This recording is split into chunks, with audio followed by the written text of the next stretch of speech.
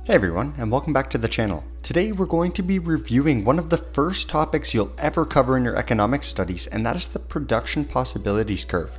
In this video, we will be reviewing five different scenarios which will cause the PPF to either shift, pivot, or both. We will explain why each translation takes place and make sure that you understand everything there is to know about moving the PPF. With that said, let's get into it.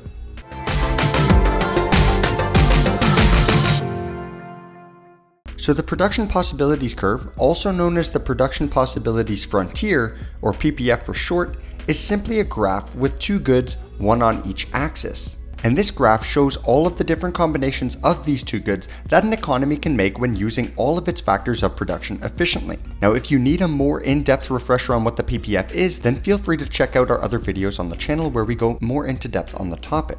In this video, we have five scenarios which affect our production possibilities frontier for an economy with two goods. Let's call the good on the x-axis good x and the good on the y-axis good y. The scenarios will progressively get more difficult as we go, so stay tuned if you want an example of every type of movement that you can do. Now let's start with scenario number one. Improved technology increases the productivity of both sectors equally. Well, we know from our previous video that an increase in productivity will shift the PPF to the right. But what is the significance of mentioning that both sectors are impacted equally? Well, in this case, you can see that the y-intercept and the x-intercept have increased by the exact same amount. There's no distortion in the PPF, just a clean shift to the right.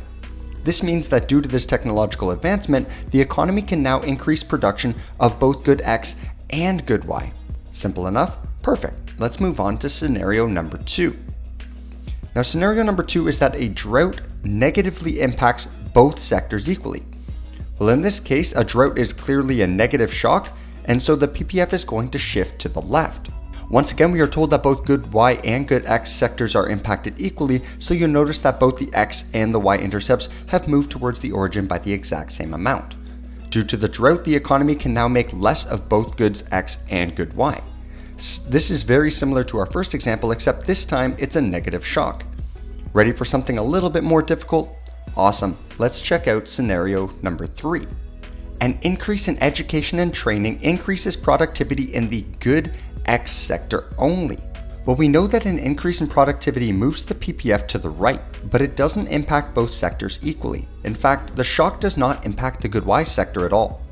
In this case, we see that the x-intercept moves to the right and the y-intercept doesn't change. In economics, this is called a pivot, as only one intercept changes and therefore pivots around the other. What this means is that the economy can now produce more of good X, but it can't change the production of good Y. This is because the shock only affected the good X sector. Now let's move on to scenario number 4. A forest fire destroys resources used in the good Y sector only. Well, a forest fire is definitely a negative shock, so the PPF is going to move to the left.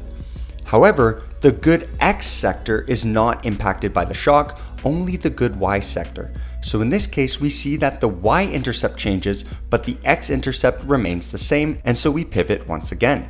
What this means is that our economy can make less of good Y, but the exact same amount of good X as we could before the negative shock, since only the good Y sector is impacted.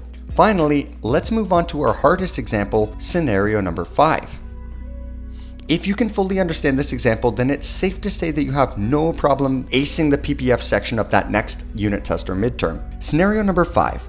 New labor laws negatively impact both sectors, but the good X sector is hurt more than the good Y sector. So once again, we are presented with a negative shock and therefore a leftward shift of the PPF curve. And we know that it impacts both sectors, but this time they aren't proportionately impacted we are told that the good X sector is hit harder than the good Y sector. And in this case, both the Y-intercept and the X-intercept will move closer to the origin, but the X-intercept will move more. Why is that? Well, if the good X industry is hurt more, then due to this negative shock, we will ultimately be able to produce less of both good Y and good X, but the reduction in how much of good X we can make will be even stronger than good Y, and so the intercept will move more. As you can see, this heavily distorts our PPF, but at the end of the day, when a negative shock occurs in the real world, this is most likely to resemble what would actually happen in a two good economy. So there we have it. We've gone over five scenarios where shocks have impacted our production possibilities curve. If you followed along through the entire video and everything makes sense to you, perfect. I anticipate you'll do very well on your next test. If something is a little unclear, I'd advise that you check out our other videos on the PPC, but also drop a comment and I can definitely answer any questions that you may have directly. If you're watching this right before a big test or an exam, good luck. I hope that you do well. If you enjoyed this video and found it helpful, let us know by liking the video, subscribing to the channel, and of course leave us a comment in the comment section below. Thanks for watching this video, and we'll catch you in the next.